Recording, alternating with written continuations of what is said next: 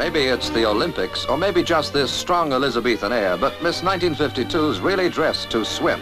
And if she's sunbathing in mind as well, these detachable straps are the answer. Modeled by Patty Morgan, it introduces the latest line in swimsuit materials, shot fabric.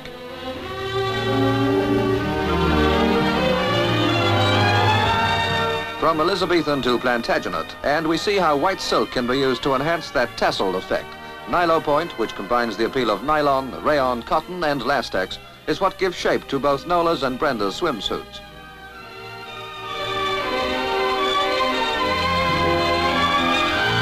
The tassel effect again, this time in a two-piece, and we're back with Patty in a play suit of printed cotton.